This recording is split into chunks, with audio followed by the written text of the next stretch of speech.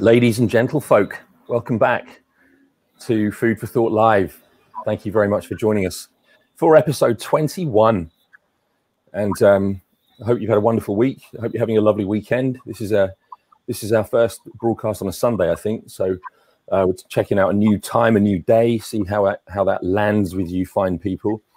Um, and uh, and the same will be true next weekend. I'll I'll, I'll give you a heads up uh, about my guest the next weekend at the end of this this discussion this evening.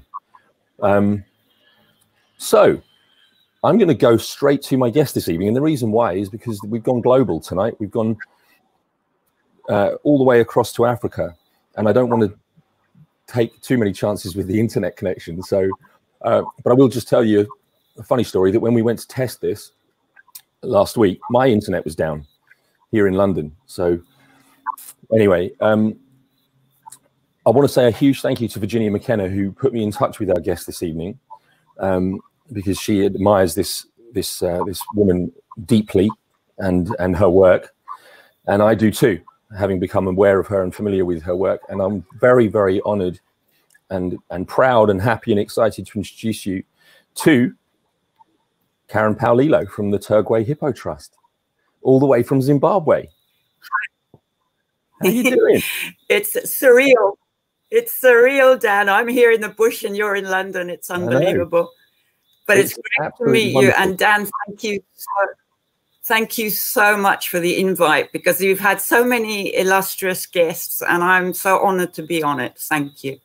Well, tonight we have another illustrious guest, and we're we're honoured to have you. We're honoured to have you, and and and you know when I've when I've looked into your story and and learned what I have in the time since Virginia made me aware of you, I'm so in awe of what you do, and I'm very excited for you to share some of your story with with the folks watching tonight. And with that in mind, because it's not just what you do, but it's how you got there. So, because as people will have gathered already, um, you're, you're not, you don't have a Zimbabwe accent; you have an English accent. That's how, right. How, um, I am British.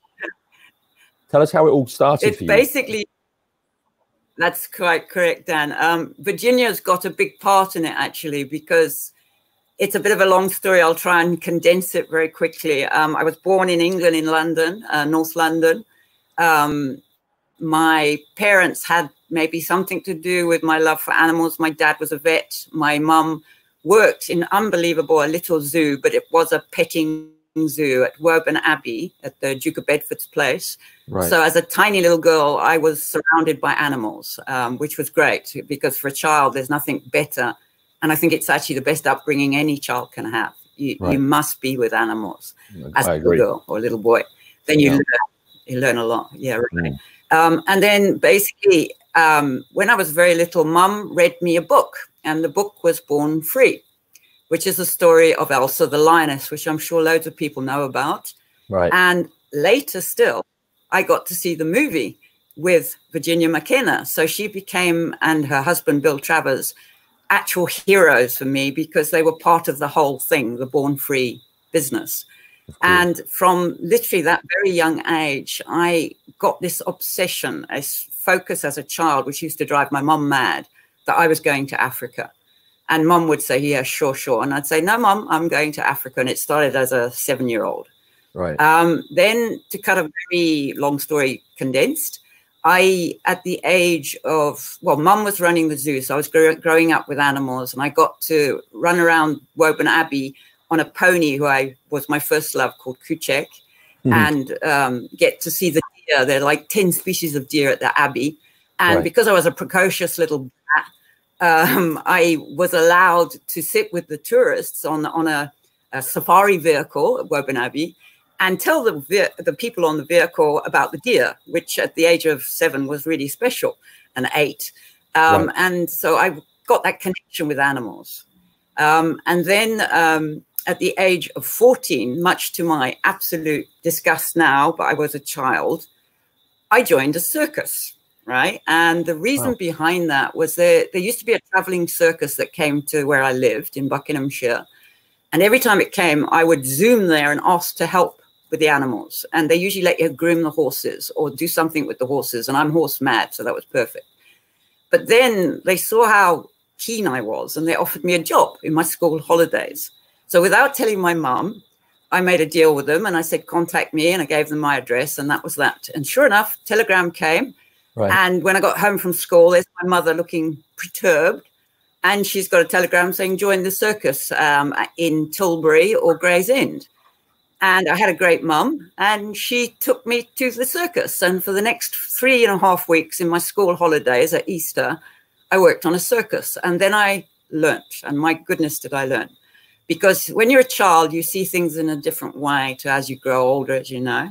Cool. And I thought it was all glamour and animals being happy and all that. And I realized it wasn't.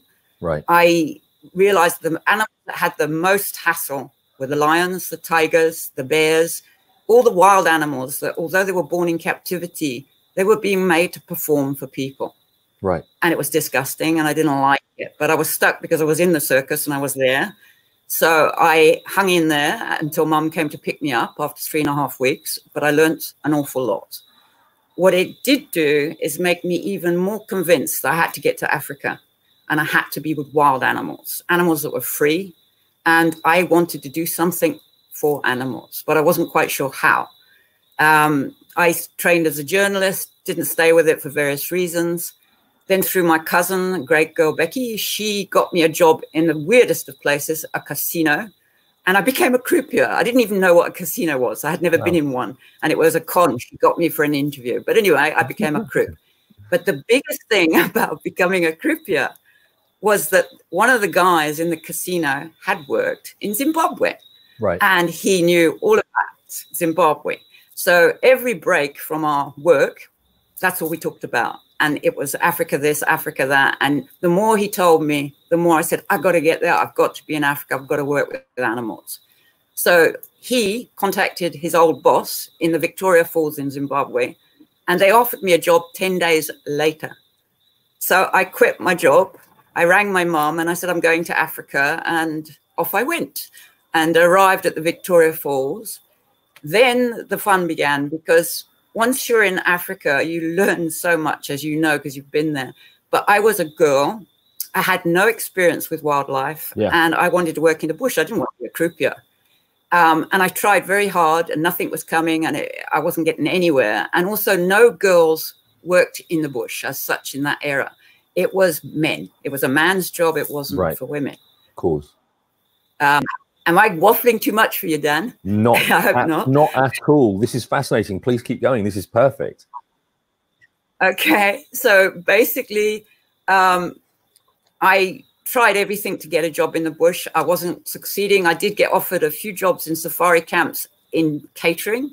Right. Um, or as an assistant to management, but not in the bush. And I wanted to be in the bush. Luckily, through actually a boyfriend who knew another guy who knew another guy, he found this guy wanting to start photographic safaris. Now, the next bombshell, he was a hunter, a professional hunter. I knew nothing about hunting at that stage, right. but he wanted to stop hunting. And he actually interviewed me and said, Listen, I've been hunting for a couple of years. I am sick of it. I'm sick of the whole ego, death, everything that goes with it. And I want to turn to photographic safaris and quit this killing and stop it altogether. He used to have clients. He wasn't doing the hunting. He had clients from mainly the States. And he said, I also want to be forward thinking and, and basically wake up the world and have a girl and have a girl doing photographic safaris. Right. At that time, it was all boys. And he said, "Are you are you up for it?" And of course, I said, "No." And I said, yes, please. And basically, he employed me. And then we got the whole saga of where he was, which was down here in the Southeast Lowveld, the whole world that we met, the people in his environment, thinking he'd got himself a wife, a girlfriend, the whole scene, because I was living with him in his house in the bush. Right. So the tongues were wagging. And he was a gentleman. He was a gorgeous guy. He wasn't looking for a girlfriend. He was just very forward thinking. And he wanted a photographic guide who was a girl.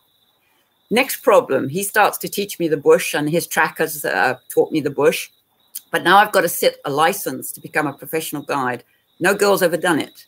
So national parks didn't know what to do with me because it was a man's job and it was mainly hunting questions in those days. It was to do with the size of measuring a dead animal and all sorts of stuff like that. Mm. Um, and you had to have experience with guns.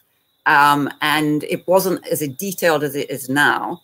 And fortunately, then you didn't have to kill anything. Now, a guide actually has to qualify by killing an animal to protect the client. Yeah. But at that stage, it was new and we didn't have to do that. So I didn't have to do that. If I had had to, I wouldn't have become a guide. I can't kill. I'm a vegetarian going vegan.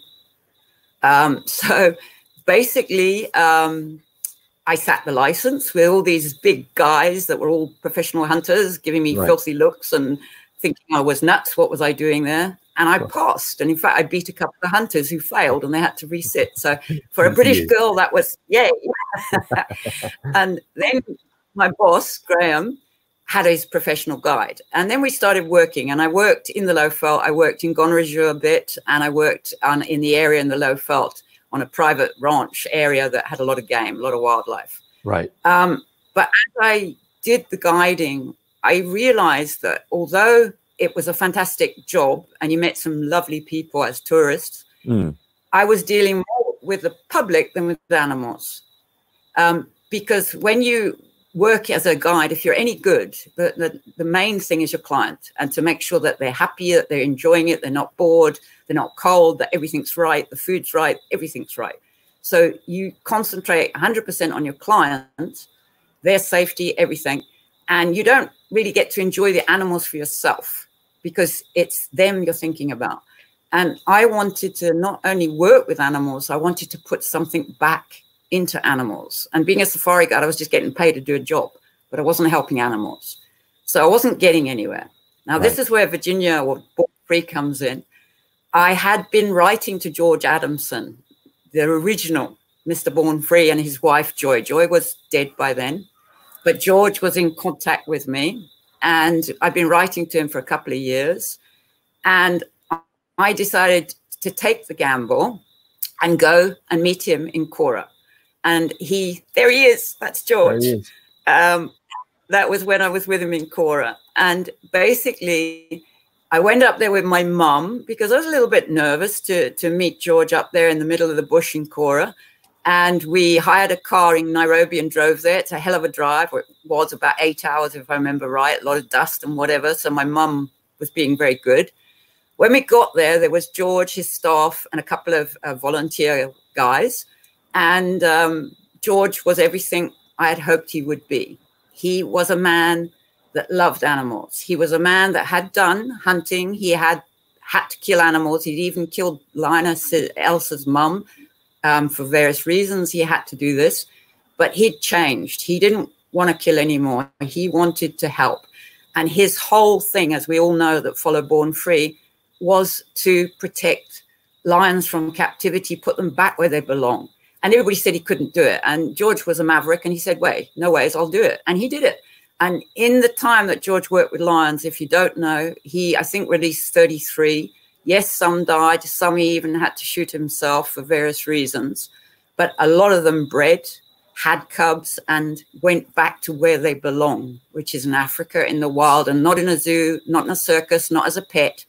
And they survived.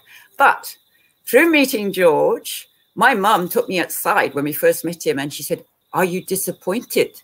Because George had a kikoyo on, a bare chest, a long beard, and he was 80 something years of age. And I said, No ways. He's everything I wanted. And he was a gentleman. He held a chair for you. He, he was a gentleman. So my mum didn't really understand because it wasn't her thing, it was my thing. Then to help mum, when we left George, George had said he would employ me and it was dodgy because like everywhere in africa you you have to come in and go out and you just don't get a job just like that it's not easy and i wanted to take in i was going to take the job as his assistant and work with him because his previous assistant had left with tony fitzjohn to go to tanzania. So it was a perfect timing for me to go there. Unfortunately or fortunately two reasons i took mum down to the coast because she was tired from the bush and everything. And I met my husband, Jean Roger, who happened to be on holiday in Malindi. So, boom, now we've got a love story and we've got George, my hero, and a choice to live with him and work with him. And it was hard, very hard to make that decision. And I mean it. But Jean won. Jean Roger. Um, and I wrote to Jean, uh, George, and George wrote back and said, Good for you. That is what you're supposed to do. If love knocks on the door, go for it, you know. And he was quite fine about it. Beautiful. Then I joined Jean and we went to Europe and we went back to Holland, which nearly killed me because I, I'd been living in Africa and I love right. Europe, but I can't live there anymore. I'm Africanized. And it was very hard. And I got all the things that people that live with space and wide open areas and bush get when they go back to civilization. It's scary. Um, at the same token, um, I wanted to get back to Africa. And luckily for me, my husband is a great guy. He understood I was going literally nuts. I would sit there in the apartment and play lions roaring and oh. hippos calling. And our neighbors thought we were completely insane because I put it full volume. That's how much I missed Africa. I can relate. Um, oh, I know you can. You've been there. You know it. You feel it. I think you have to come here next, Dan. If you don't come here, I'll be very upset. Well, I just I was just sharing James's comment on screen right now, um, where I'm sure he's missing it just as much. He's supposed to, he's saying he's supposed to be with you in September volunteering, um, but very much looking forward to yeah. when he can get out there. I'm sure, and so am I. Absolutely. Great. Well, I hope so. And if you don't come, I'll, I'll write dirty letters to you. well, I may just hold off a little bit just to see what those dirty letters look like, but then I'm coming definitely. But please okay, carry on because the story is absolutely gripping, and there's so many people writing lovely comments about this story, and it's just so so lovely to hear. So please continue. Well, thank you, and and I hope it makes other people know that if you really want something, and I was like six when this started you can get it. It took a while. You don't get it like that, and it a lot of hardship, but you can get anything you want in life if you really want it. It's called focus and determination. But anybody can get anything they want, anything. Absolutely. Anyway, back to the story. So, like, now I'm going nuts in Holland, um, and to the extent where my husband went to his employer, his boss, and said, "Listen, um, my next posting. He was a, he's a geologist. Um, could we make it Africa to keep my wife as my wife?"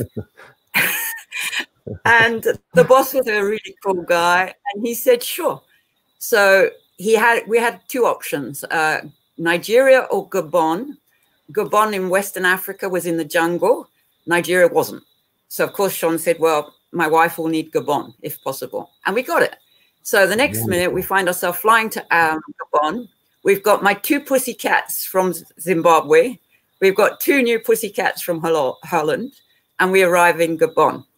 We then were in a compound which I've never lived in in my life, and it was all very new and very different. But the great thing was the bush was amazing. Got to meet the only national park guy in a place called Sette Cama, where we were in the Gamba in in um, uh, Gamba, and we were allowed because I was an ex safari guide to go there, whilst the company, which was uh, Shell, were not allowed to go there um, because he'd had hassles for various reasons with various people. Um, but because I was an ex-guide, we were allowed to go there and see the national park and see hippos in the sea and buffalo in the sea and pygmy elephants and gorillas. No, I missed the gorillas and chimpanzees. So we had an amazing time. Right. But it was a completely different kind of Africa to the bush of Southern Africa course. You you walk in the bush in Gabon, you don't need shoes. It's so soft, the, the foliage. You know, you you got dense forest jungle, so it was great. But Amazing. again, I was just actually being a wife, but at the same token, because I'm who I am, I was a stroppy one. In the people in Gabon in the compound were buying animals. They were buying monkeys. They were buying uh, parrots. They were buying handbags made from snakes they were buying ivory. And I could not handle this. Now, company wives are supposed to keep their mouths closed and be company wives. I can't play that game. So I started to write in the local newspaper for the company, explaining to people that that little monkey, for them to buy it and put in a cage, not only was it captivity and it would kill it anyway, but it had a mum and they'd killed the mum to sell the monkey. The snake had a life until it ended up as a handbag. The ivory, which I actually was our neighbors, who was a French lady, and I had an amazing fight with her in French. And I never knew I could swear so fluently in French because man, well did I let go. Good for you. She had bloody ivory. The ivory had blood on it. The Oh. poacher was at her doorstep with the ivory with blood on it. So Oh, I just ah. lost it and lost it beautifully. Um, and so Thank much you. so I scared the poacher and he left because I'm quite rabid when I get angry. And um, so you. he left. She didn't buy our ivory. And the incredible thing was the company didn't allow people to buy things like that. Shell didn't allow it, but she was from a contractors. Um, they were contractors, and they'd learned that they could put ivory in table legs and smuggle it back to France and places like that. And they didn't do it to kill the elephant. They just wanted the ivory. They they just liked ivory, but they didn't realize what they were doing to their animals Right. um, what happened from my newsletters was actually incredible because um, people came to me in the compound and said, We didn't realize, we didn't know that the parrot had been trapped. We, we, we thought they were tame parrots. Right. Uh, we didn't know the baby monkey had lost its mama. And these are adults, they're not children that, that didn't know. And you can't blame them of course. because they didn't know. You They know, if you haven't lived in Africa, yeah, you, you don't know. You live in England, you go to the pet shop and you buy a parrot, you know, if you're that way inclined.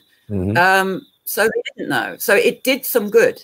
It actually woke some people up, but it possibly didn't do the company image too good because the wife was kind of saying things. Troublemaker. And the reason I'm telling this story, sorry, a troublemaker, which we're the very reason- glad that you were. yeah, troublemaker. Yeah, exactly, a troublemaker, which kind of fits the bill. What it is is I can't stand injustice. I, I can't stand to see cruelty. I can't stand to see ignorance through uh, aggression. Ignorance through ignorance, I understand it and try and help. But through aggression or through uh, being a nasty person, it gets me mad. And then I'm very mad. Sure. But anyway, long story. Um, the end result was that while all this was going on, there was a problem in Gabon. The um, Gabonese and the Senegalese didn't like each other and they started killing each other. Shell panicked. They decided to evacuate the cities where they had employees. And we were still okay in Gamba. And then things got a bit out of hand, and Shell didn't want wives and children damaged. So they said, okay, all wives and children out. Um, we're evacuating you right. no animals. So people started to put their animals to sleep. Oh. Now, my best friend was a doctor there. and He was putting dogs to sleep and other animals. And I said to my husband, I'm not putting my four cats to sleep. I am not leaving here without the cats. They don't let me take the cats, I don't leave. And my husband, who totally understood and was completely behind me, said, Of course, they're, they're ours. You know, people are taking their children. We'll take our cats. They're not our kids, Right. but we're not leaving without them. Well, you're not leaving without them. The men stayed behind. Uh, so what actually happened was um, I rocked the boat again. The first lot of evacuees of wives and kids left. I was still in the compound. The contractors didn't leave because they left. They, they were left to last to leave. So I was left with the contractors because Jean was permanent staff. And uh, when the boss got to hear I hadn't left, he told Jean, Get your wife to wake up. She's leaving. And Jean said, Not without the cats again, it's a whole a long story, but the end result was they said, okay, she can take two of her four cats and no luggage. We were allowed 20 kgs. So we thought we'd better behave. And Jean promised me that if he was evacuated, he'd take the last two, even if they said he couldn't, he'd smuggle them. So then we get to the airport with the two cats that I've drawn out of a hat. I've put the four names in a hat. So I'm bawling my eyes out. I'm freaking out. And I've got two of them. And in fact, my favorite isn't even the one that won the raffle he's back with Jean. We get to the airport. We are the last to go out with the contractor. No, sorry, we're still going out with the main staff then. And I'm crying my heart out. And everybody's laughing and happy because they're leaving Africa, because most of the people didn't like Africa. They never went in the bush. They didn't like it. It wasn't their scene. Uh, and I said, hey, you know, and I, I was bawling. I was crying my heart out. And a friend, a doctor, a lovely man. He came and he said, he was French, but what's your problem? And I told him, he said, well, then go home. Don't leave. So Jean looked at me, I looked at him, and we went back to the house. that didn't go down well. So again, if the boss is listening now, he's probably hating me, but I'm sorry. anyway, so the We end result you. So the end result was that um, the boss came to shout at my husband at the house with me present. And then I lost it again because he was telling my husband off for not controlling his wife. And I'm afraid it wasn't in the days where we can now actually women can speak up a little bit better. Mm. But then I said to him, Hey man, it's not my husband, it's me. And it's my cats from Africa and from Holland. And you mustn't chastise my husband because it's my decision that I'm not living without them. Other people have put their animals to sleep. I'm not living without mine. End of story. And he saw that there was no ways I was going to change. So eventually he said, okay, let me think about this. And he left. He actually came with another guy. He didn't come on his own. And then we got a message that Jean would take his wife and he would leave with me and the four cats. And we could even have one bag, one suitcase. But Jean had to report to head office in The Hague because basically Jean was in big trouble. And Jean thought, well, I'm sorry, you know, I'm going with my wife, fine. We then arrive because uh, you're evacuated, so it's all quite serious. Um, we arrive in the Congo. You go via the Congo. They take right. your passports away, and I meet this amazing lady who's working with gorillas. So I get to meet gorillas that are connected to the Aspinall Howlett lot. Um, I can't remember the real names, but anyway, she was looking after, after orphan gorillas from poachers. So that was incredible connection in Congo. We spent the night there and we discovered that a lot of people had smuggled their animals, but they had like one cat, one little dog, tiny dog, or a rabbit or something. And they actually smuggled. Some of the people did. Some of the people actually smuggled their animals. And once they got to Congo, they produced their animals. And there was nothing the company could do because they had their animals with them. Right. But I had four cats. There's no way I could have smuggled four. And as it was, they wouldn't let us take our traveling cage. We had to have a box, a cardboard box on right. our laps in the plane. Right. So then we get to Holland. Jean doesn't get told off. He was a high flyer, but he's sent back to Gabon without his wife.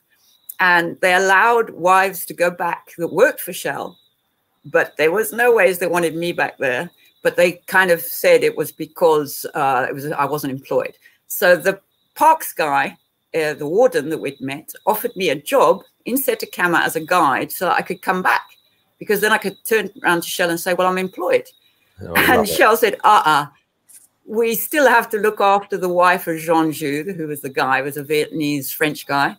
Um, and you're under our jurisdiction and no, you can't go back. This was all told to Jean. So Jean quit. He went back to Gabon. He got me back to Zimbabwe to my mum, and he quit. He got back to Gamba and he quit. And they tried everything. We like the one thing they wouldn't do. He's a good man. The one thing it. they wouldn't do. the one thing they wouldn't do is let me come back, which is understandable. I didn't go by the rules, then. so we're now in Zimbabwe, and we were on holiday actually because we got back, stayed with mum, put the cats at mum, and we'd planned actually a holiday right then to go with his best mate from France and his right. girlfriend. So we take off around Zimbabwe.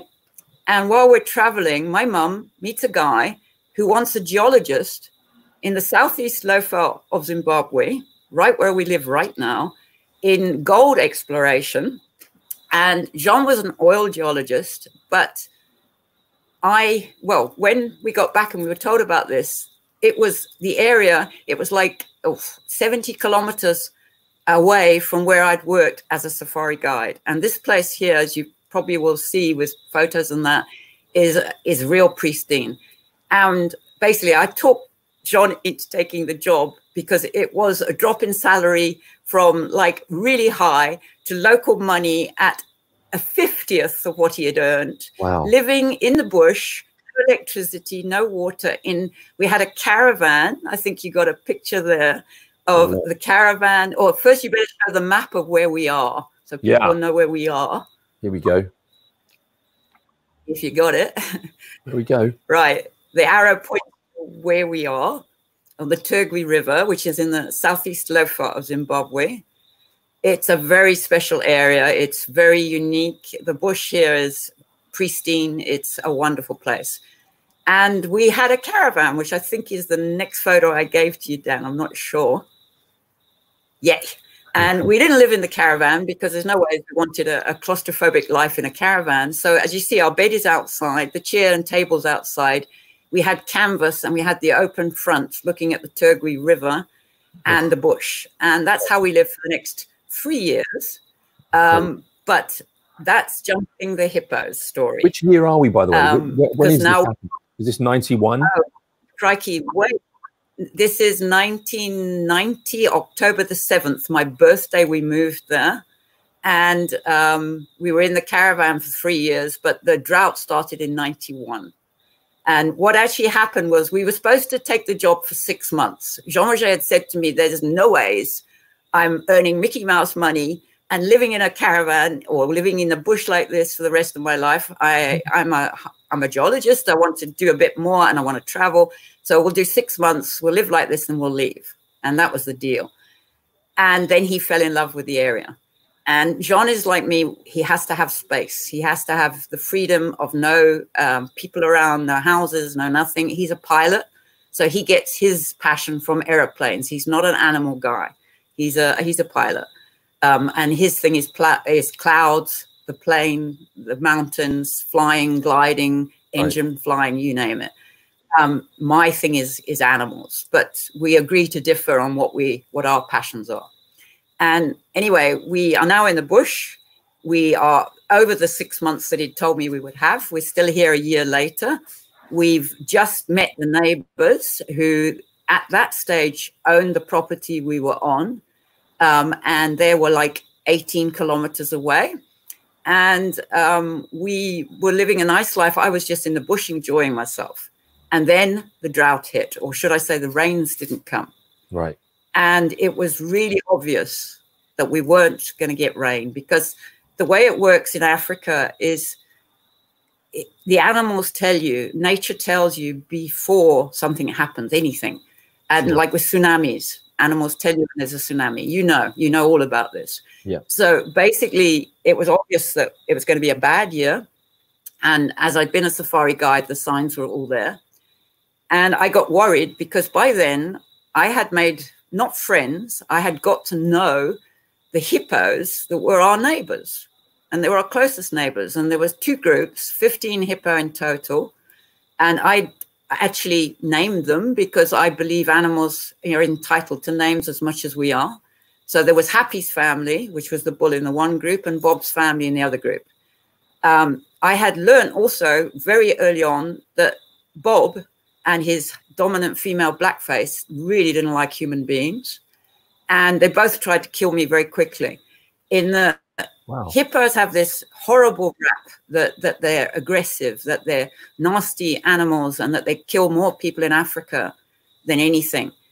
And there is reasons that they get given that because yes, they do kill people, but so do lions, so do elephants, so do buffalo, so do mosquitoes. Um, right. In the case of hippos, um, they live in water, obviously, and 90% of the places where they live, there are people because where there's water, there's people.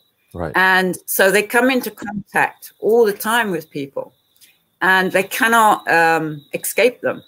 So they're either going to get frightened by people doing something to them, in the case of um, drunken people throwing stones at them, or people thinking they're dangerous and chucking something at them, or hunters shooting them, or poachers hassling them. But somewhere along the line, that is Bob that you've just shown. He was my boy. Um, I'm coming to him. He he's the logo of the Turgwe Hippo Trust, and he always will be. Um, and he basically had been hassled by people, and in fact, he'd been hassled by sport hunters, trophy hunters, oh. and his aggression, I believe, came from that because he'd had his kids killed. He had had his brothers killed. He'd probably had a few sisters killed. And Bob did not like people.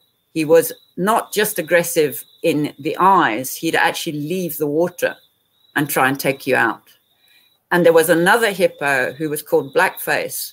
Um, I think she comes later on my show, but I, on my slides, but I'll, I'll, show you when she comes up. Is this her? She also, there she is. Okay, that's Blackface. And she was really aggressive. She was even worse than Bob.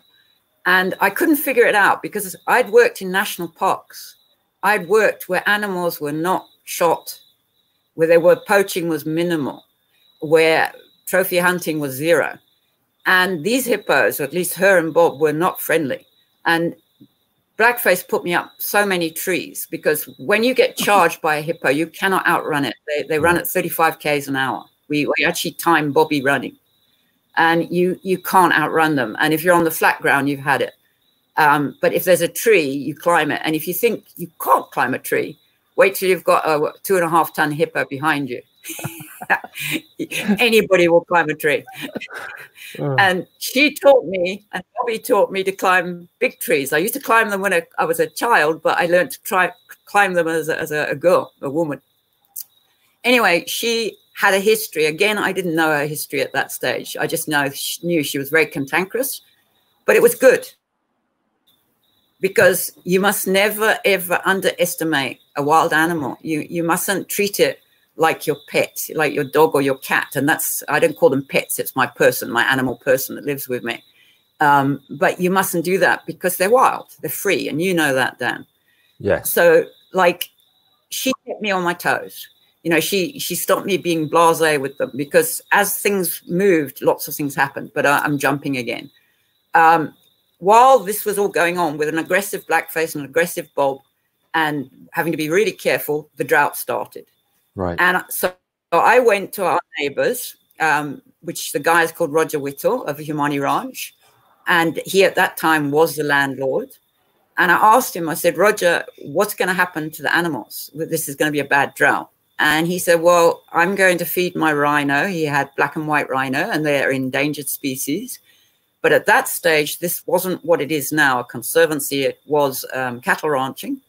And he said, I'm going to look after my cattle. That's my business. And the animals will have to take the chance, which is understandable. So I said, okay, fine. If I can feed the hippo, can I do it? And he looked at me and he said, You think a pom can do it? Then you can try. And that was like a big smirk on his face. And he gave me permission, but he, he basically thought I was nuts. And then it started. And the first thing I did was try to get advice. And I actually contacted zoos. I contacted London Zoo. I contacted American zoos. I contacted any expert I could find to find out A, could they be fed? B, what did you feed them? How did you do it? Blah, blah, blah. And the, the main thing I got from zoos was lucerne, which I couldn't get hold of in Zimbabwe. There wasn't any. Um, as a bulk feed, which is a great grass, but there wasn't any at the time. Right. Then someone said soybean hay, and I did find a contact with soybean hay, so that was brilliant. And you had to have horse cubes and you had to have molasses, which is a sugar like black syrup to, to encourage the hippos to eat. And you had to have um, a survival ration, which was actually for cattle, um, which that's another story. And the guy that told me how to feed, he was a guy called Clem Coetzee who captured game wildlife to move them from one area to another if they were being moved from park to park or whatever. And he had caught hippos and kept them in a boma for a maximum of, I think it was two and a half weeks. And he said, Oh, an adult hippo, 15 kilograms of food, which I think is about, don't know pounds, but 15 ki kilograms. Um, and that That's will do it. And he gave me an idea. There you go. Thank you, Dan. I'm glad you know what's going on here. Um, and he basically said um, that that should do it with some game cubes. So next problem is to get the game cubes or horse cubes and to get the food. So and to pay for it. So I went to my husband and I said, "We've got savings. We'll do it." And my husband said, uh, uh, "How much?" and I said, "Well, we'll start and we'll see how it goes." So I now had some money, and then we found the hay, but we needed the, the, the game cube. So I rang up all the companies in the country around us within a thousand Ks, uh, sorry, 400 Ks, made deals to buy it. We then drove to get it. We drove in to, get the stuff and we paid for it. And they said, So how many cattle you got? and I'd say, uh, Actually, we haven't got cattle. We're feeding hippos. And about half the companies tried to stop me buying the food because they said, no, man, this is this is for cattle. This is a drought. And I said, yeah, but animals need it too, and these hippos need it.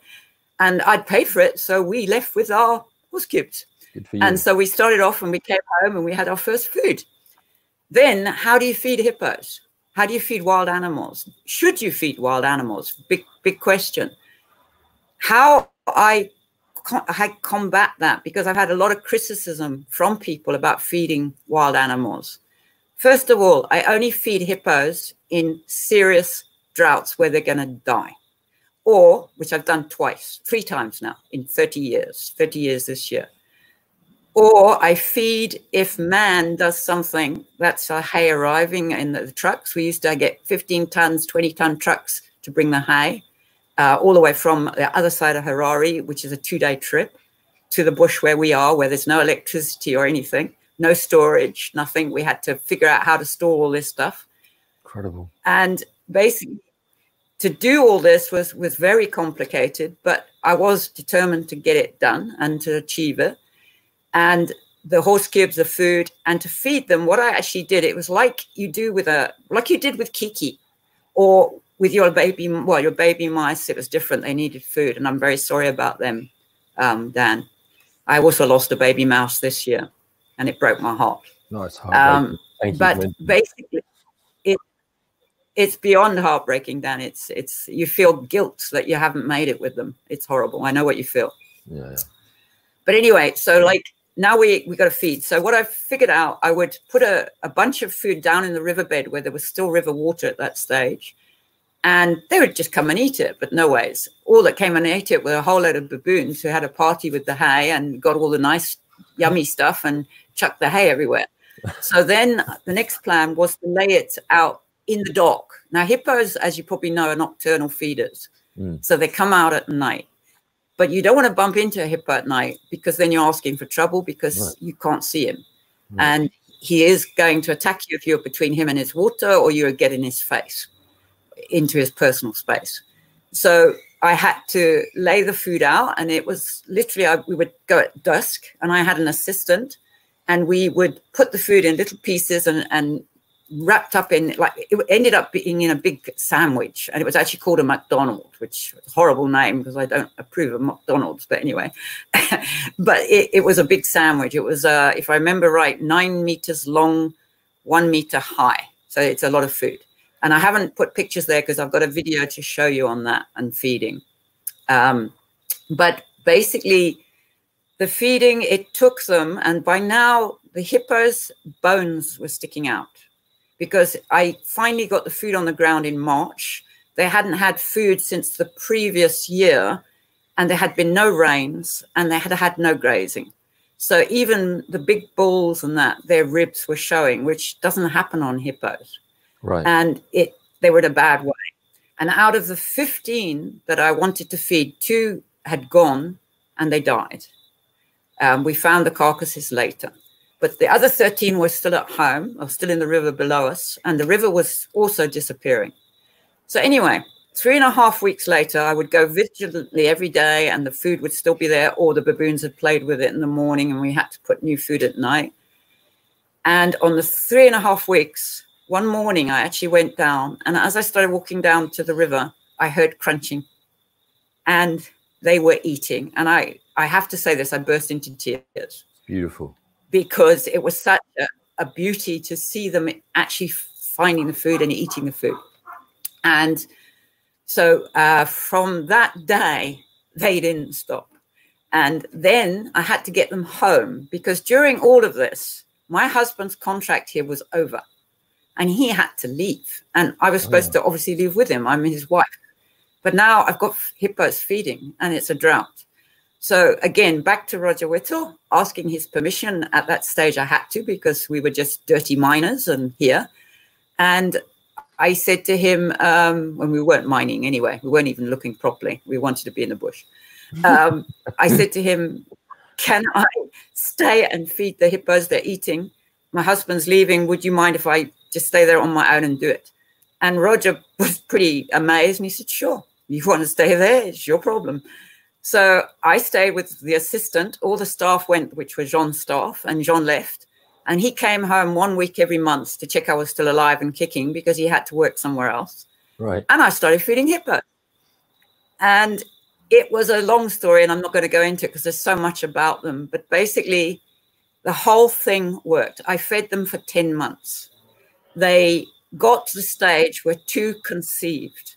They got pregnant during the feeding, and Tembai, the one bull, was born um, in June 1993 after the drought. Um, the drought ended in 1992 on October the 13th. We got our first rain and the, the grass had re-established by um, early December. It was perfect again.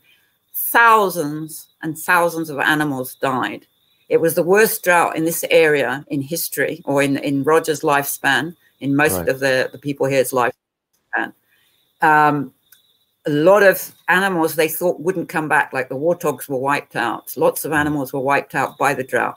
Hippos were gone. Everywhere else they'd been, gone. Had I not have fed the last 13, there would have been no hippos left at all. Absolutely none. And two got preggy. And Tembai was the one, and surprise, a, a female with the second one. Tembai is still alive here today. And unbelievably, he's the, the main bull in the in the one family group. He's Bob's son, so he's very special. He's up at the Majekwiwea. Um, and he has a family now of 13 other hippos at this moment. And he is lucky because young males get kicked out of, of the family when they're a certain age. Tembai right. was very stubborn, no ways would he leaving. So his mum left with him. Normally, the mothers actually kick the boys out um, because it's all to do with when a, when a female hippo is pregnant again, she has to um, wean her calf. Now, if it's a girl, female, she allows the female to stay in the close vicinity, and because it eventually looks after the calf to a certain degree. Mm. But if it's a male, he can't stay. And she kicks him out um, because she doesn't want interference with the male maybe attacking a new calf, especially if the calf is a male. It happens with lions. It happens with lots of animals. You know, again, you, you, your knowledge of Africa is superb. Um, but she, Tembai, for, for, for the goodness, his mom, Lace, decided to stay with him. And she took him away when he was uh, three years of age she just went downstream and eventually she moved a long way away. Um, but I'll come to how he got back here. In the meantime, the hippos were now breeding. We were back to normal. Everything was supposed to stop here, but I was addicted. I had been with these hippos for 10 months. Right. I had experienced things far better than being a safari guide. I had learned so much more about not just the hippos, but all the animals that ate with them, the water waterbuck, the bush pig, all the animals that came along and I didn't want to leave. So Jean Roger approached the Whittalls to see if we could buy the property. Eventually, we ended up with it, but it took a lot of leasing and mucking around. And we were given three years, then we were given a few more years of building a house, then leaving. And eventually, right. now it's permanent. It's our home. And we have the Turgwe Hippo Trust, which is a non-profit. But in the meantime, through all of this hana hana, these these things, um, I decided now we knew we could stay here. Um, we were going to live camping, and Jean would come home to me. I wanted to form a trust because I'd helped them, but I wanted it to continue because right. I knew they'd have further problems. So in 19, I think it was 94, again on my birthday, auspicious times, it was weird the way it worked out. I formed the Turgwe, Turgwe Hippo Trust, a non-profit. And now, it's 30 years this year in October, that we've been here. So from six months, it kind of extended. Um, but the trust has grown from this little idea of, of forming a trust to something that's phenomenal for me in that I have a team of people out there. It's always teams. It's it's always other people with you, helping you. And I haven't got people here as such because I'm isolated in the bush here. We don't the Conservancy was formed. I'm jumping, but the Conservancy was formed to be an eco safari setup, a photographic setup. Hunting was going to be completely stopped, maybe the odd person allowed, but very little. Unfortunately, due to what happened in Zimbabwe in 2000 on a political level, all the tourists left the country, which was recommended by the governments because there was a lot of problems in this country then. Right. Um, and the owners of the different lands in the conservancy turned to trophy hunting because they had to run their businesses and they were businessmen and they didn't have any tourists. A lot of them didn't want to turn to hunting, but it was easy to get trophy hunters. Um, it wasn't easy to get tourists right. um, because a trophy hunter's got his gun and thinks he can do what we can do, and he's told he's fine. So they would come, but not the photographic. So the conservancy was changing, but where we were wasn't that because we're not into that sort of scene, and I don't agree in any way whatsoever with trophy hunting. I never have and never will. And when I was a guide, I saw hunting. I had to. I have seen animals killed. I have had clients want me to sit on their dead buffalo. And I'm not, the older I get, the more I hate it, the more I despise it. But I am the odd one out here. And my husband is actually like me now. We don't fit. We are bunny huggers, tree huggers. We are called everything. Um, in a joking manner, but it's a lot of it's serious because mm. of our beliefs. I don't want to fight anybody. I would like to be able to put over my beliefs and be taken seriously for what I see animals as, as sentient beings, but it doesn't work here. You cannot explain to somebody that that. No, I, I, and I, I completely understand that challenge that you face, but um, but here you you, know you you're in good company. And i want to say i just want to take a quick detour just very briefly because i want you to get back to this story because That's it's absolutely fascinating. But i want to share something with you which i've noticed which is something absolutely beautiful and quite heartbreaking as well. I'm share it on screen right now. And i want to say to, for you guys who haven't already seen this in the broadcast jane i want to say thank you for sharing this incredibly touching message that you've that you put on screen it's quite incredible um, and our love and condolences are with you and your daughter for your loss. But what an incredible legacy. And what I think that does is indicates just how much you are able to influence people. So where you talk about, this is why it felt like the right moment to share this, this message that I'd noticed, um, where you, you might, you might have trouble affecting people and impacting people locally because of the fact that they've got that mindset that you just talked about where you're the odd ones out. This is the kind of impact you've had on people elsewhere. So I wanted to share that while you're talking about it. That's an incredible story, Jane, and thank you again for sharing that because that's extremely touching and very personal, and it, uh, it and it means a lot that you shared that. Thank you. Um, thank you for putting that up, Dan. I didn't expect that. Jane is an amazing woman. Um, we have volunteers now that's completely jumping the story but we are very fortunate we have paying volunteers that come here. They make a donation to stay here. And as she said jane came with her husband dave and we lost dave. The beauty of showing people africa that actually are really into the animal. So many of my people that come here it's not just for hippos because we've got a lot of other animals here but to see that passion to see David and Jane's passion, right. to see people living their dream touches me so much. And what Dave did for the hippos and what Jane is still doing with the auction site on Facebook for Turgwe Hippo Trust, it's it's unbelievable. And we get people like that all the time. I have Cinder. She she contacted me from America. She's um uh how do you say partially um she can't hear. Right. And neither can her wife and her wife also can't hear. And she wrote to me and she said, I love what you're doing. Can I help you in any way? I see you're not that technical, being in the bush and all that. Your newsletters are great for your adoptions, but I could jazz them up for you and make them prettier. Would you mind? And I said, Oh, yes, please.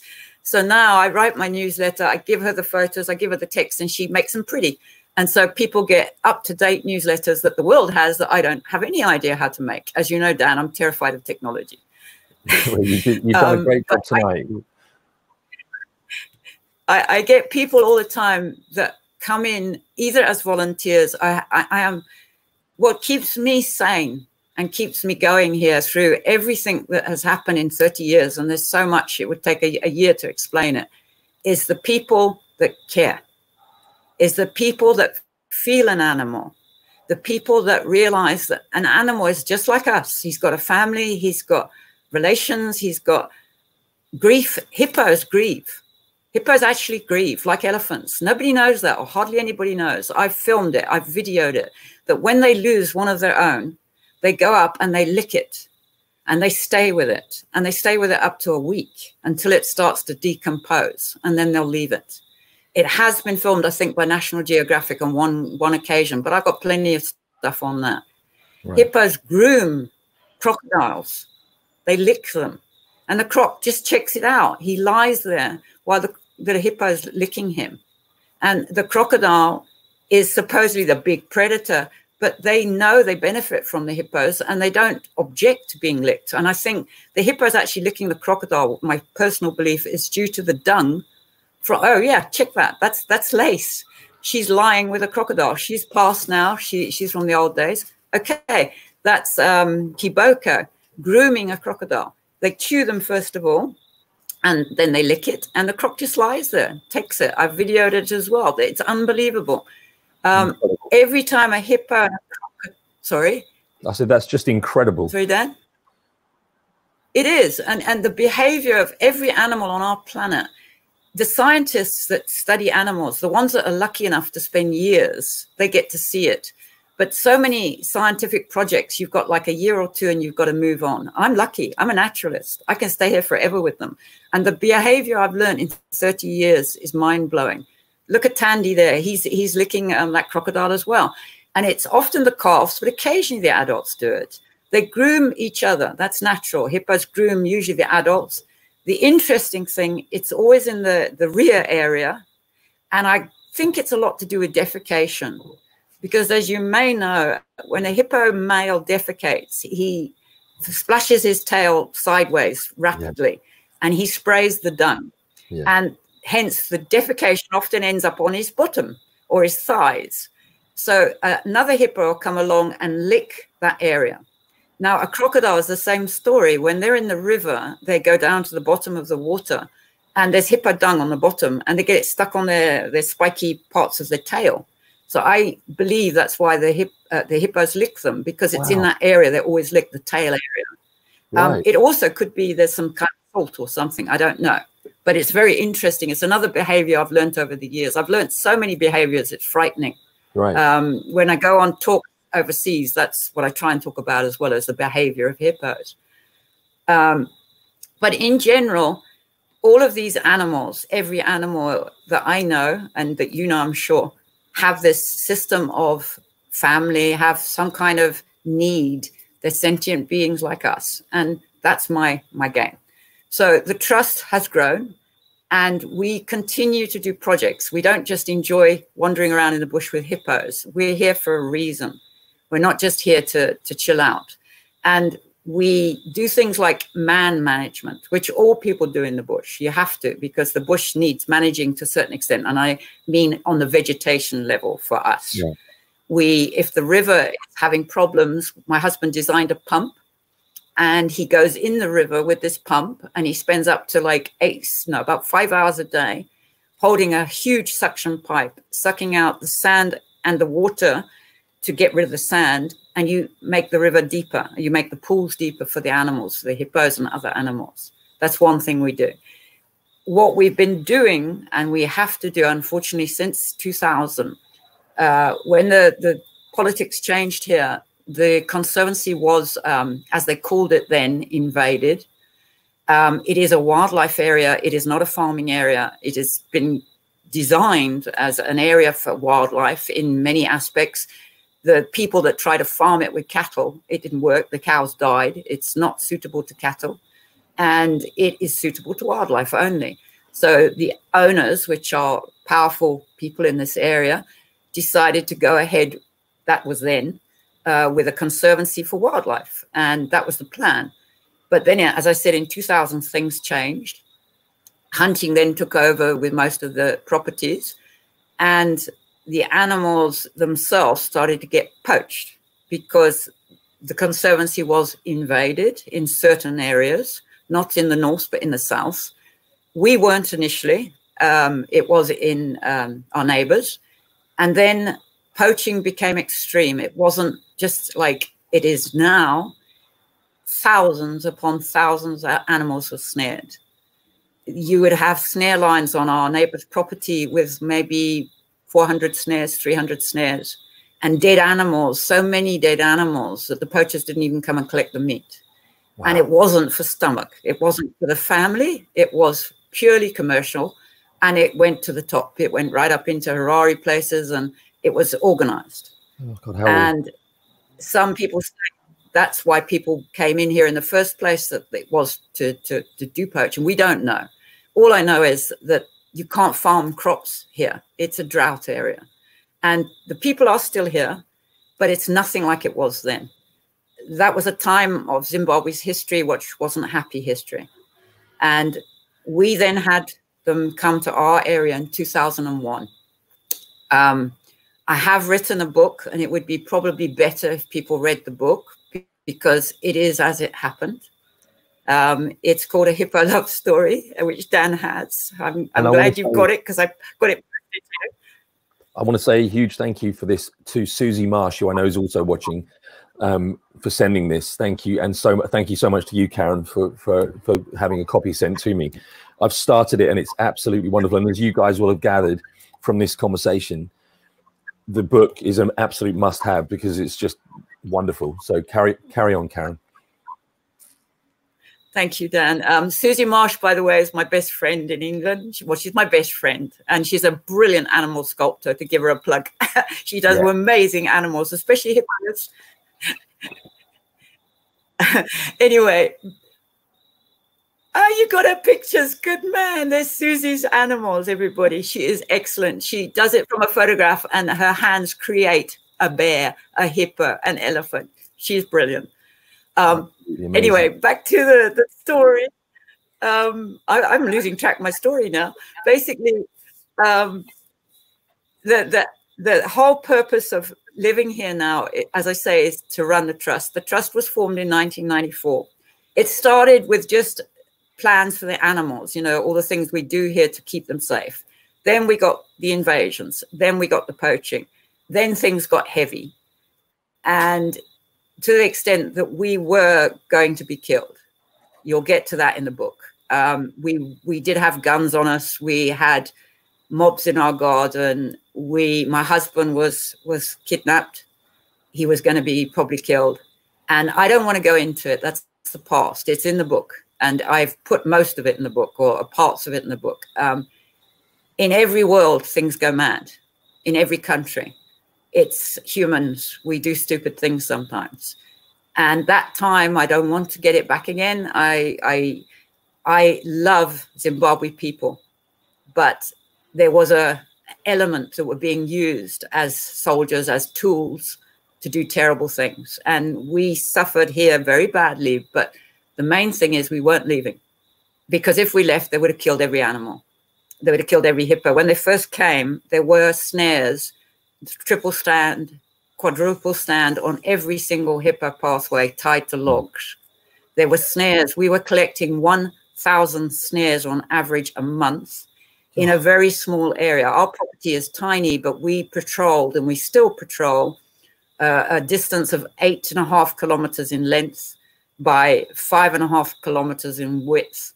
And we're still patrolling it since 2001. We now have rangers in the invasions, there was just jean Roger and I. We spent five hours a day in the bush collecting these snares.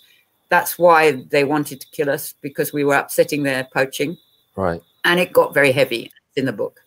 But the end result, which is what I really want to mention, which is in the book, I'm afraid, the actual people that were doing this eventually came to us. And the one guy, the leader of the one group of men that was very angry, gave me the biggest respect I've ever had. In that, in Africa, when when you visit people, you you give a gift, which we do in in, in England as well, but very much traditional in Africa. And when um, we used to get mobs, um, occasionally I'd have to give them food because otherwise they would have eaten my goats. And I had pet goats that were my goats. We didn't milk them or anything. They were, were orphans, and they wanted to kill them and burn them and eat them. So I'd give them food and stuff. Anyway. When the this all this Hana Hana problems was over, the mob came back. We thought to hassle us, and it was wasn't actually at all. They were asking us a question about something else. and it was the same bunch that had kidnapped my husband, and there was like 30 of them. But this time they weren't drunk and they weren't taking drugs; they were quite normal. And the leader, I took him some cooking oil and food when he arrived as politeness, and he sat down and he clapped. Now the ladies do that; it's traditional. Men don't do it. And this is a man in his mid 70s. Well, I didn't cry because you mustn't cry in Africa. Uh, we have to hide our tears. It doesn't work. Uh, if you show tears, you get stood on and, and by everybody. You, you actually have to. My husband said, is a lovely quote Africa has dried his tears. And I was attracted to him because he cried. That to me is a man. If you can cry, then you've got feelings. But he can't anymore. He didn't even cry when his family died. Africa does that to you, and it's not the animals, it's not nature, but it's part of living here. It is a fantastic place. It is the best, but it's tough, and and it's not from the animals. But anyway, um, I didn't cry, and I was honored, and that man and his people have never, ever come to hassle us again and hurt us. And when we see them, they say, "How are you, Karen? How are you, Jean Roger?" and we don't have problems with them because they were hmm. told what they had to do. And just to clarify, so this, this is, just so, sorry to interrupt. I just wanted to clarify the fact that you what you what you just talked about facing, and I know you didn't want to go into too much detail, and it is in the book. What what you did, the the reason you stayed and and and faced that threat was was to save the animals. Yeah, yeah, yeah. I mean, I would give my life for an animal, Dan. My husband has learned that. Um, it's difficult for a man. It's difficult for most people to understand that something means that much to you that you'll give your life for it. But I've been like that since I was born. I think I came out of the womb like that. Um, and I am that person. And I warned Jean Roger when he met me. And I said, animals are my priority. And you don't have a relationship with an animal you have with a partner but they are my priority and you must understand that. And he took me on and he's still with me so obviously it, it, it's not that bad. Maybe. And by the way just as a quick aside as well i want to say to you guys you, you will have seen that i shared um, giles found the link and there it is but you guys uh, all know by now that link is not clickable for this book right here that we've talked about but you'll find it in the comments for uh, in Facebook, you'll find that link. Don't go yet, of course, because we want to hear more from Karen. But that's where the link is, uh, where you can buy the book. And I just wanted to just quickly throw that in there too. So um, again, apologies for interrupting, Karen, but I want people to have the opportunity to get even more of your story when when we're done for tonight. Thank you, Dan. You're you're you're a honey. Um, basically, like we we we we to run this Turgwe Hippo Trust there's only a few of us. It's not a big setup. And I don't ever want it to be a big setup because the bigger you get, the more hassles you get.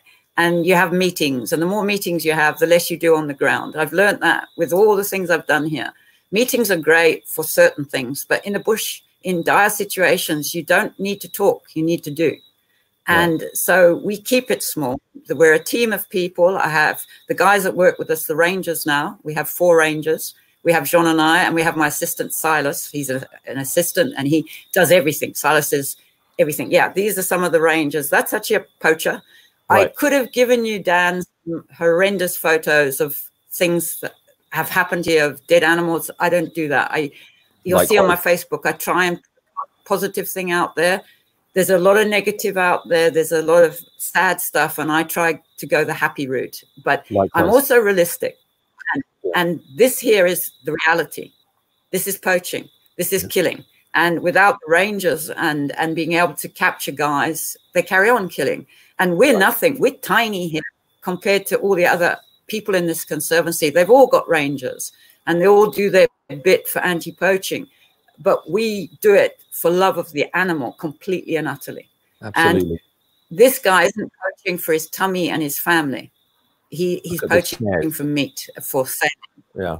Yeah. No, no. Literally, literally a few days ago, we had a kudu snared, and she was alive. And and the rangers came back and said she's alive in the snare.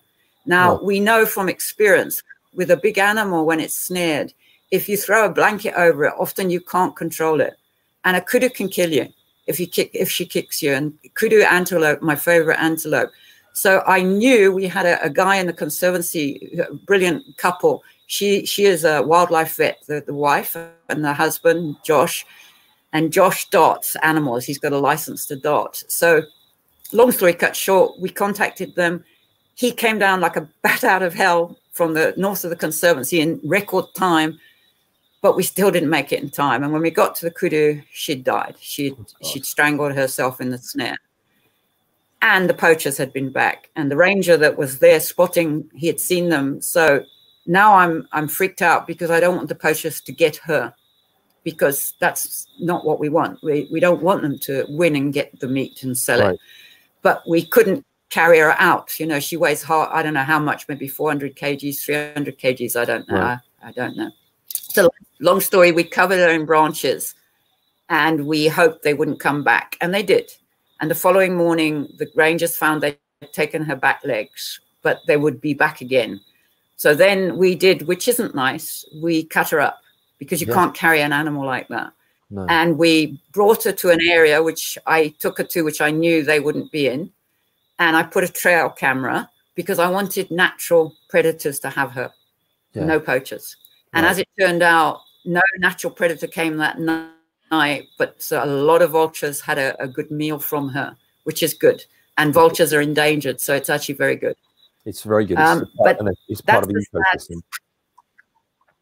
yeah, and that that's the sad side of Africa. And it, it, you know, the volunteers that come here, we try to give them only positivity and show them the great parts of it. And if they want to physically work, we'll give them a bit of work. But it's more being in Africa, living in the bush with wildlife and respecting it and not having a selfie if possible, unless the selfie is necessary or if it's it's the animals at home. Okay, there we've got a newborn hippo and she, the baby there is called Bonbon and she's still here and she doesn't get pregnant. She's now, crikey, she was born 211. What's that? She's eight, I think, nine and she still hasn't had her first cough. So I'm not sure what's happening with Bonbon. Maybe she'll never have one. And her mum there is Tasha. She's still here.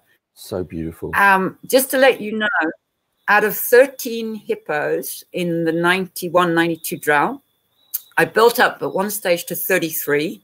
But because we're a small river system and the habitat isn't suitable for big groups of hippos, they do disperse to other rivers, which is cool because they're then breeding with different bulls and and starting families in other river systems. Yeah. But we have had since 1990 when we came here 63 calves born from that nucleus, which is wow. just incredible. And yeah, I mean it blows me away. And they're not all here, obviously. We've lost some. Three were trophy hunted. Uh, that's in the book. Two of them. The last one was only last year.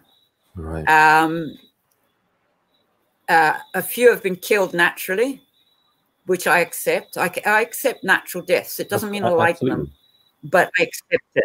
Yeah, you have to accept it. And and like anything here that lives here that comes to Hippo Haven, that's the name of our homestead here. Right. We look after, and that's another thing with feeding. I just want to mention this for people that are anti-feeding animals. I think, and I, I think I'm not wrong, that most people around the world feed animals be it birds, hedgehogs, rabbits, if they have compassion for that animal and they realize it's a it's a bad year or the animals need it because we've taken their habitat or whatever, whatever. Here in Africa, it's really scorned upon by many experts. But I believe as we evolve as human beings, as we learn to change our viewpoints in so many things that is happening in our world, and it's so fast that here in the bush we, we're way behind we have no idea what's going on in the real world, as we call it. Um, we must realize that even wild animals must have a hand if we can help them. The old policy, and still in some national parks, is that if there's a huge drought, let them die. Let the predators move in. And then the predators die because of this and that. I know all this scene. But I have the feeling that if you're in a man managed area, which this conservancy is in a small way, hardly at all, but it it is still been put for animals to be here for various reasons. They're, they're natural, but they've been restocked as well. Mm. And there is a drought, and it's a natural drought or even man made circumstances. And you can save that animal's life, then you should do it. And this year or last year, when I fed again, they actually fed in some of the national parks because animals were dying. And I take my hat off to anybody that stands up to the people that scoff at this and goes on and does it because you're saving lives and that's what counts. And you're not interfering. If you feed animals regularly, yes, you're causing a major problem. But if it's a life threatening thing, it's different. And then back to here in Hippo Haven, right? We feed or I feed. We have baboons, vervet monkeys, warthogs, bush pigs, and now a hippo. Um, what has happened? Oh, there we go. There's the vervet monkeys, or some of them, kissing or embracing. Um, we have the baboons. We I don't know what I've given you the photograph wise. Okay, that's that's one of the photos of one of the baby baboons. Beautiful photo. I love that photo. Gorgeous. Um, and we have them at the house. Now check that out. This is our home. That is a wild kudu. That is Nelson, Susie's cat, who she loves and Tinkerbell, her grandmother, both of them came from Helen Jarman. They're rescue cats because they were going to be left behind on an invaded farm. And that's a wild kudu. Incredible. And she sniffs it. She sniffs Nelson. Um, we have now, right at this moment, and that's jumping away, but we we we have warthogs now. We started off with one warthog way back, now we have 12 warthogs. And the reason I feed the warthogs is we have a specific group of poachers that target only warthogs and have been for the last 12 years. We know who they are, we know where they live, but whenever we've gone into their villages with the police and national parks, they're gone because they know they're the informers tell them they get out. Right. Yeah. And they're warthog poachers. So, like, if I feed the warties here at home, they don't go way into the bush where the poachers can't be heard with their dogs because they use dogs to track and get the warthogs in their holes. Um, so I feed them close to, I feed them at home, and the warties live close to home in holes that we can regularly check and keep right. an eye on. And touchwood, they are expanding in their numbers and not decreasing. And I believe that's nothing wrong with giving them food. And they also go in the bush; they don't live here permanently. Nothing wrong um, at all. And same with to, feeding. Say, you know, with regards to that point you just made, I think it's really important to state, you know, where there's a, an argument against feeding animals, I understand that argument and I understand the the implications of ignoring it. But let's face it, what they're talking about there is the need for humans to not interfere. Well, that ship has sailed humans interfered. Most of the problems animals face is because of human interference, whether that's snares, whether that's drought, because let's face it, droughts could just as likely be man made because of the climate change we're affecting, or whether it's just encroachment on natural habitat, whatever it may be, we've already interfered and we've interfered negatively. What you're doing is incredibly positive. So I fully stand by you. And I know that everyone watching will do the same thing because you we wouldn't be sitting here talking about 63 calves over the course of the nearly 30 years since you saved those hippos' lives if you hadn't stepped in and done that. So uh, there's no disagreement from us.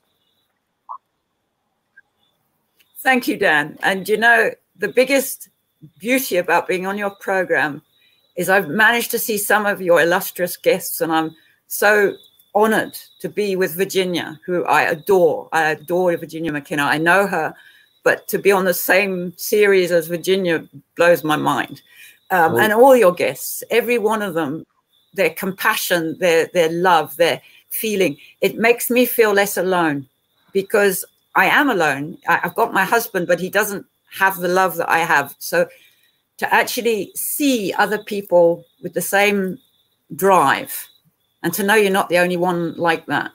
And as I said to you, the team of people that helped me, Susie, I, I if I if I list them, I'll forget people, but in Canada, that's very important. They started a not-for-profit trust in Canada for me, which is run by Andrew and Kelsey. It's started right. by Stephen Gordon.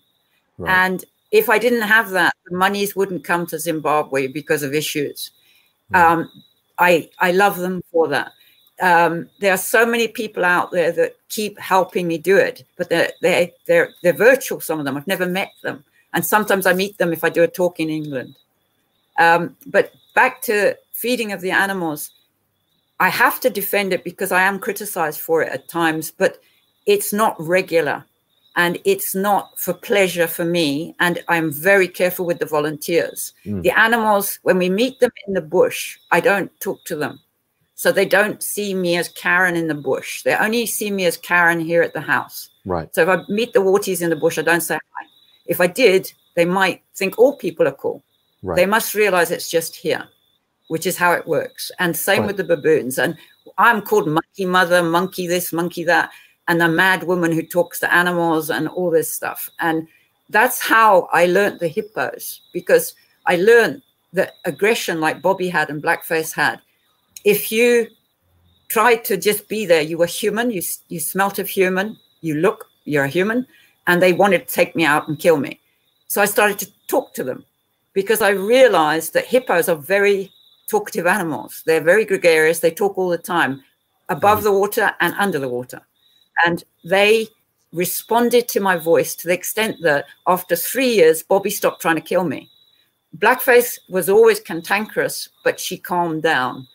And just to give you Blackface's history, a guy that lived here long before we came here wanted to capture a baby hippo to sell it. And he, I heard this from somebody, and so he put a lasso in a tree and he caught the baby. And the mother was obviously blackface because he said it was a mean black hippo, and she was the only one here then. Got very upset, obviously.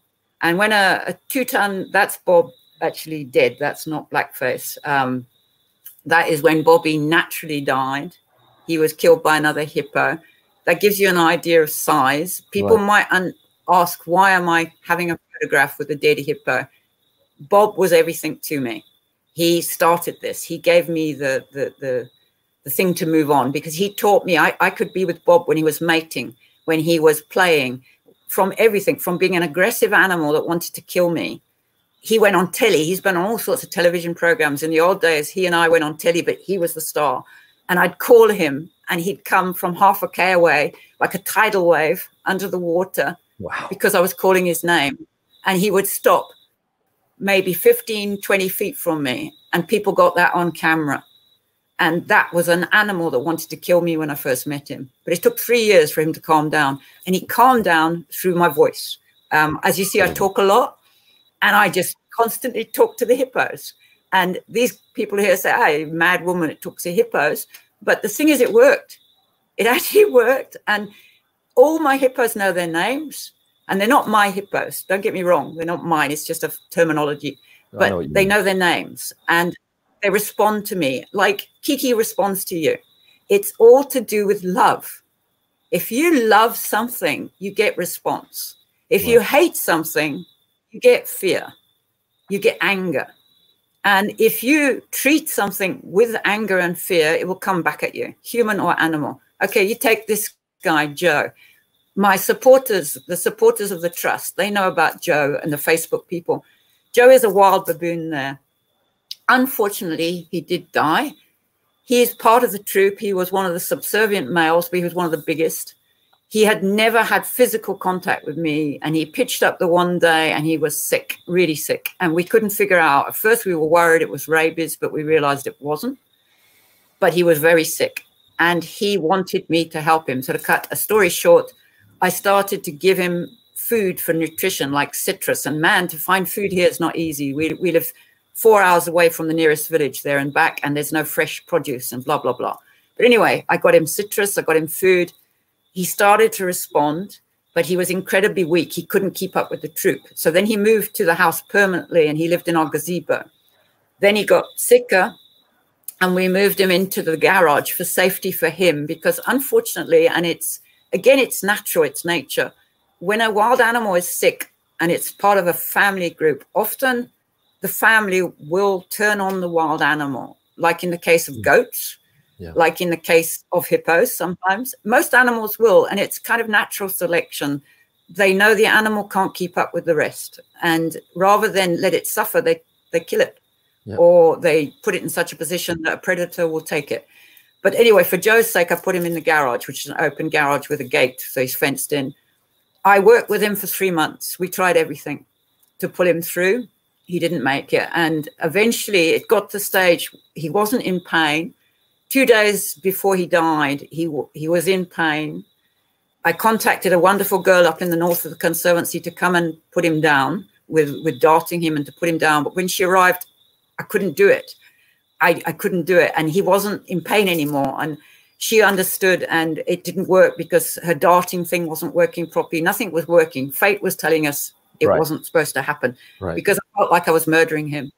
And a long story, then about two days later, he then went way down. And I believe in in natural remedies and things. I tried a lot of things. I then asked him to go.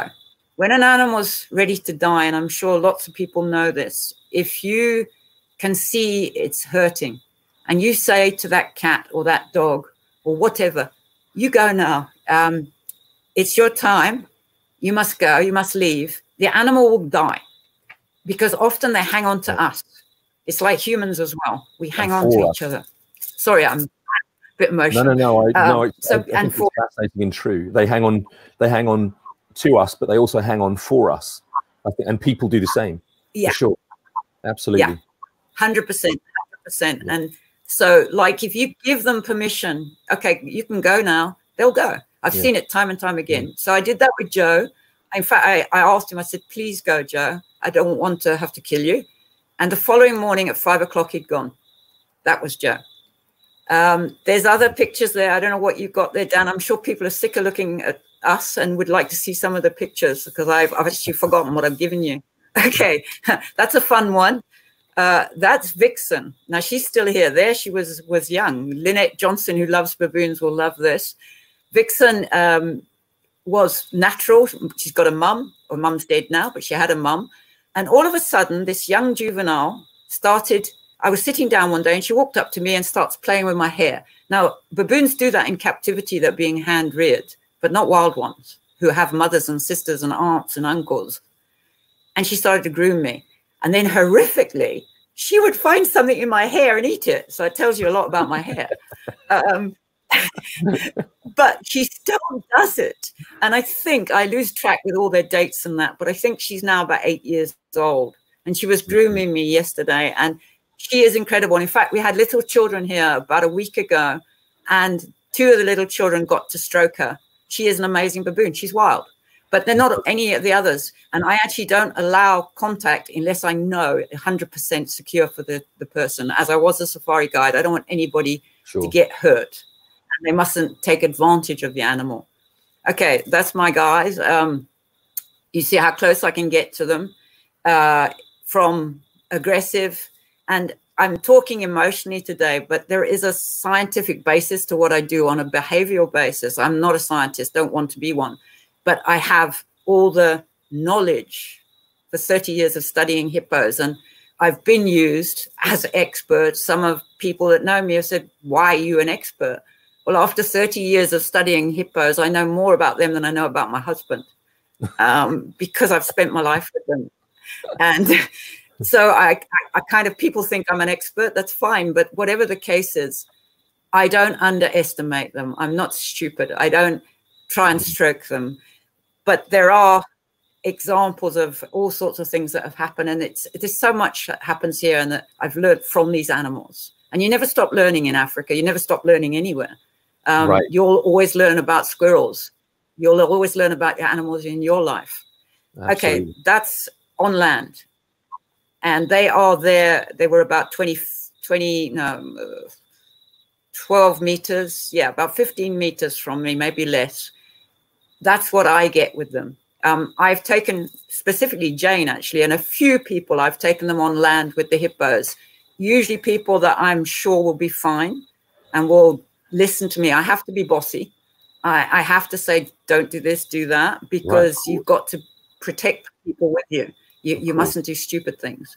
Um, but on my own, it's a different kettle of fish. And I've actually said to my husband, if an animal ever kills me, I do not want that animal killed.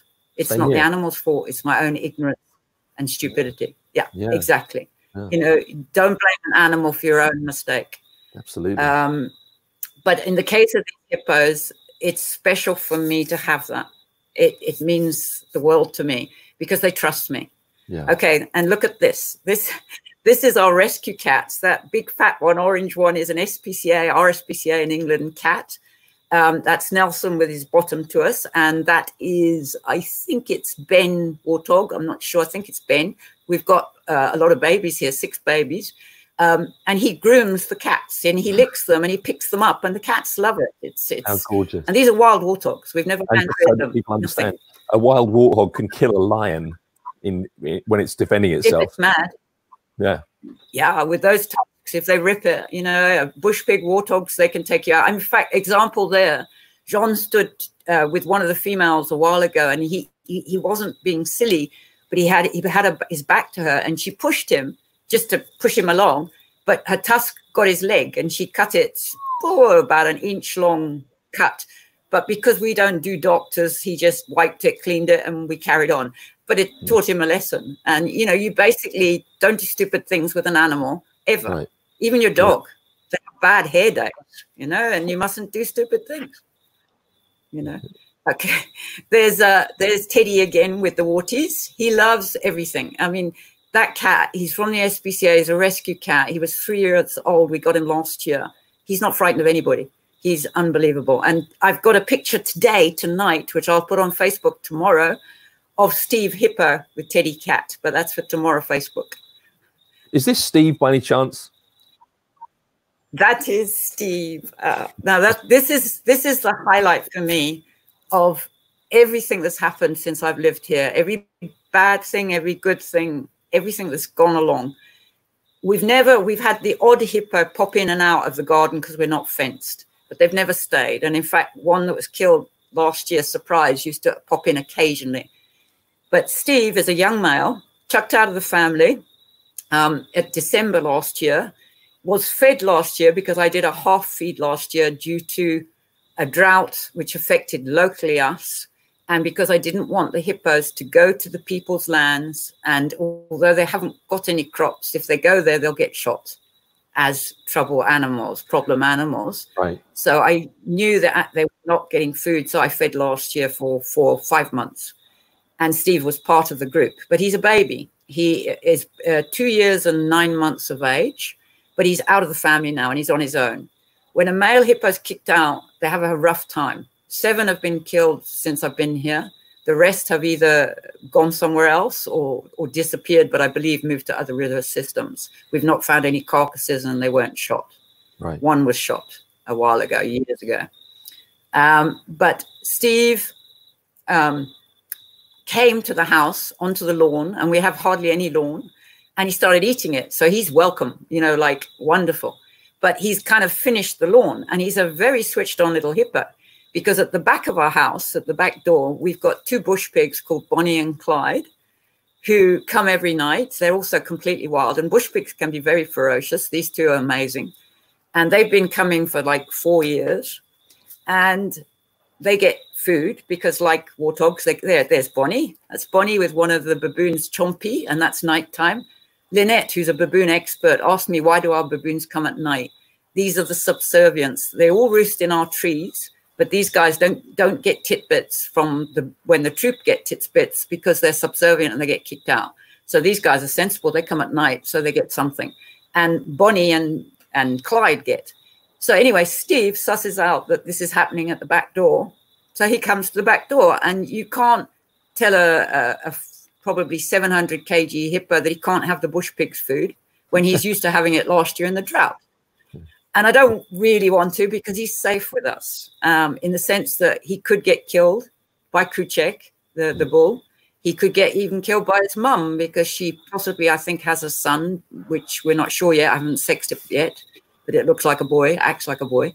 So by coming to the house at night, he's safer here. Again, it's a haven.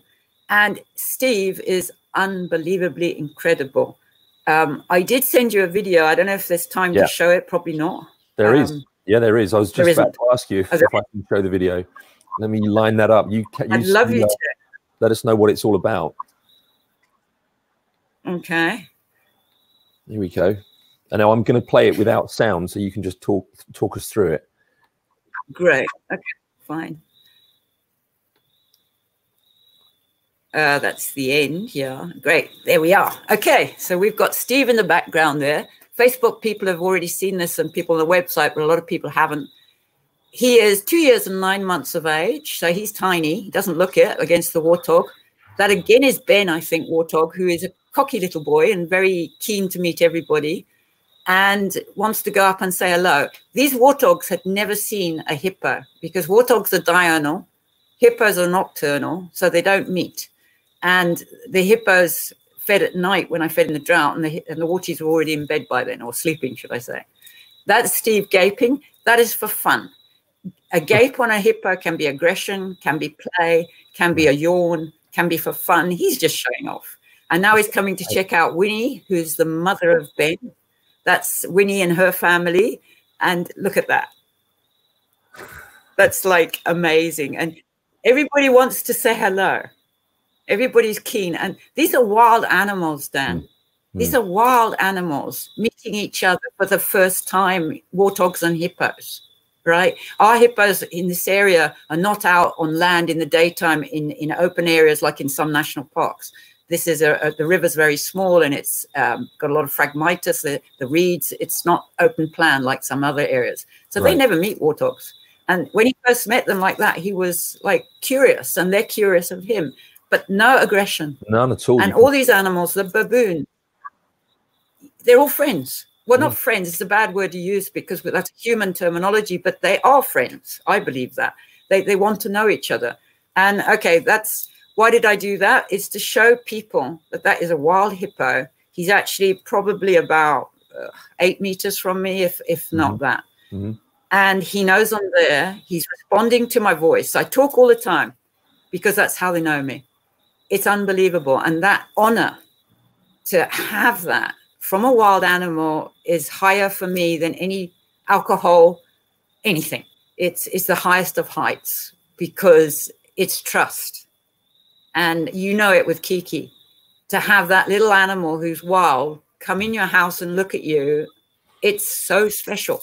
So incredible. There's nothing you can't. You're absolutely right. It's an absolutely invaluable thing, which which trumps everything else for me. Yeah, yeah, me too. Um, Karen, and me, what, if um, I die tomorrow, I'm happy. Carry it. Yes, yeah, yeah, absolutely. Uh, likewise. Um, now, I want to I want to ask you, um, echoing a message I saw Will. Uh, well, I, am sure you probably gathered Will Travers and Virginia McKenna are with us. They're watching. Um, and um, well, I, I'm thrilled, absolutely thrilled. I adore both of them. I haven't met Will, but I, I know Virginia. I, and I was supposed to see her in October, but then this stupid thing happened.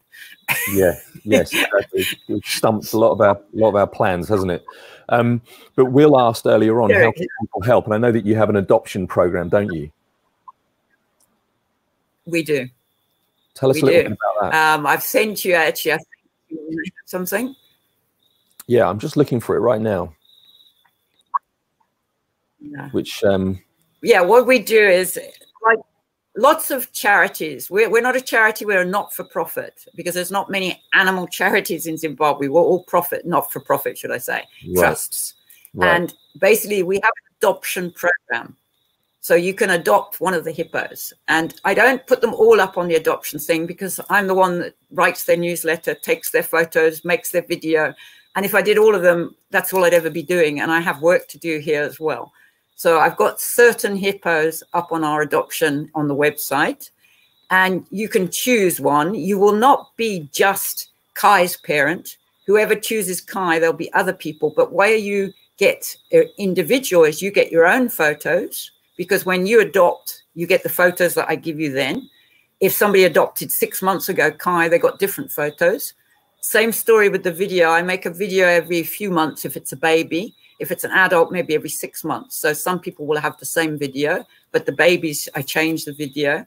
And to make a video here is hell. If it wasn't for Steve Gordon in Canada, they wouldn't get to people because to send a video from here takes like three hours. So I send it to Canada and he sends it from Canada to all the adoptees, which is brilliant.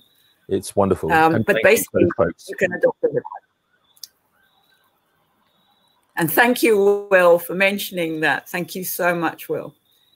Um, Absolutely. There's and, so um, many people that like this. go for it. Please do. Well, I, I, I will forget to be honest, but the people in Canada I've mentioned, the people in England that also helped with the trust and had the not for profit there, Maya Donnellan, Michael Sperling, Michael Whittall. The boys were unbelievable and they still are. They're my best friends as well. They're in Bermuda. And um, Maya, they, they ran the trust from England. And then Anne, Anne Wilkinson, who I met through her own not for profit, which is also helping Zimbabwe, um, the Hwange Conservation Society. Right. Um, they help tremendously in running the trust. I give them the info, they run it. The webmaster, Patrick Gendard in France, he runs my website. I give him all the data and he does it. I can't do it from here. It's too slow, the server. Right. We, we don't have electricity. This is all on a generator. This is all with a, a satellite dish and Wi-Fi. And when I finish with you, we'll turn the generator off and there's no electricity. We got torches. um, uh, also to thank um, Cinder in America, Laura Simpson. She is an incredible woman in America. She worked for the World Society for Protection of Animals. It's a big setup. She was the chairperson. She quit for various reasons and started her own very small setup, which has grown tremendously. And she helps people on the ground. She helps third world countries. Bosnia, well, not saying that Bosnia is a third world country, but countries that have wars, countries that have problems, their animals, their dogs, their cats. She's there for them all the time. But she also has tried to help some wildlife. And we are very thankful. She helped me when she was with Whisper. She helps me with the Harmony Fund. And she's there for us every month. And without Laura, we would have floundered many a time the way we run the trust is through donations. Without them, there is no trust. I'm on the ground. I do the work. So does my husband. My husband does a hell of a lot now. That's another story. But basically, the staff and us still have to do the jobs, but we need financial help, like all charities, all not profits, to do it. Unfortunately, you, money rules everything in this world, and you have to have it. But this year we haven't got volunteers because of what's happened, the the, the COVID thing and I'm heartbroken that we haven't got them. They've all booked for next year. All the ones that were coming, they're coming next year, and new people too, hopefully. Um, and let's hope they can come next year. Uh, there's, but there's at least we need to right raise here. monies to keep going. Yeah, you you're number one, man. You can stay forever. oh, careful, be really careful saying anything like that to me. um, Karen, I wanted to just mention that because I know I haven't I, I, haven't actually been looking at the comments because I'm keeping an eye on a very special one I want to share with you before we go. But I know from the people that are watching and who have been on the previous broadcasts that there's going to be people who are hearing this and saying, "I want to help you too," because I know that there's folks out there with skills that you've talked about web design and various different things that people are doing things to help you. I'm quite sure there'll be other people that want to offer that kind of help. How can they get in touch with you? Would it be through Twitter or Facebook? Go through you through those. Okay. Pages? No, not not not not Twitter. I'm bad on Twitter. I don't know how to work that too well. Facebook, right. they can message me privately. Then I can give them my email, and then we can go through emails because it's eh, because I can work on emails offline when we haven't got the generator on. Right. And then I can get the message and then go back to them. So Facebook there message. Go, if they don't do Facebook, then go to the website for the email address there. Right. So that's so. There's the there's the okay. Facebook page, guys. Keep take note that it's it's at Save the Hippos on Facebook, but the, the page is called Turgwe Hippo Trust. So do go check that out and drop Karen a line if you can help in any way. Um, gosh, Karen, so we could talk forever, and it's there's it. But you know, for you guys that want to hear more, don't forget you can also you can also buy this book, and I recommend it highly. Um, but you know, this. In fact, let me just let me just say something as a complete aside before I come back to you, Karen, next Saturday, which is the 11th of, of July, at 5 p.m., we're doing another new time because that's how we roll. We do whatever we want.